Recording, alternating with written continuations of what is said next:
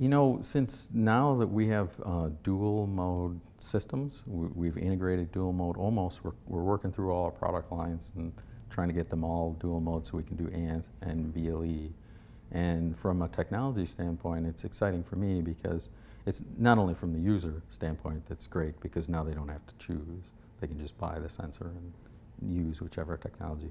But from an engineering and technology standpoint, it's intriguing because the weaknesses of Bluetooth that I had talked about were maybe you want to relay the information, we can choose to use ANT, and when Bluetooth is stronger, we can choose to use Bluetooth.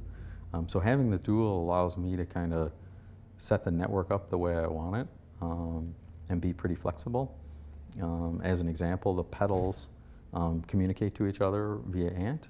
Um, and then, of course, one of the pedals is a master, which sends information. And then if you're in the Bluetooth land, you're connecting to both pedals independently. But we still maintain the ANT connection between the pedals. We actually have some synchronous uh, data that's going on in the pedals. We want to make sure that um, we don't report a downstroke from one pedal and then a downstroke from another pedal. If they were totally running independently and not synchronous, um, you, could you could report this erroneous power of a downstroke and a downstroke. Um, so there's uh, that subtle back channel that's keeping them synchronized. Um, even if you're connected via Bluetooth, we still use that, that back channel. And that's, that's a nice feature to have. Um, and you wouldn't be able to do that, uh, what I just described, solely with Bluetooth. Um, so that's kind of cool that we can, we can leverage both. Um, from the user's perspective, um, you know, I think BLE, Bluetooth, which is the higher level, higher speed, uh, is definitely embedded in a lot of devices from Apple to Windows to uh, Android. So all the operating systems use Bluetooth and now they're slowly integrating Bluetooth Low Energy. Some of them are better at it than others.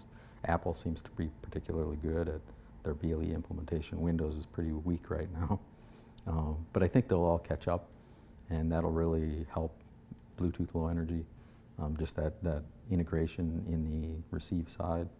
Um, but I, I feel like on the, the simplicity of ANT, and if you're going to use a little bike computer, um, it definitely uh, fits that nicely. So I think Bluetooth has some um, uh, some way to go before it's as, as uh, elegant as Ant in the super low power category.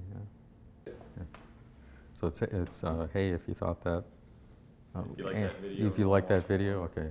So, hey, if you like that video and want to watch more, click above.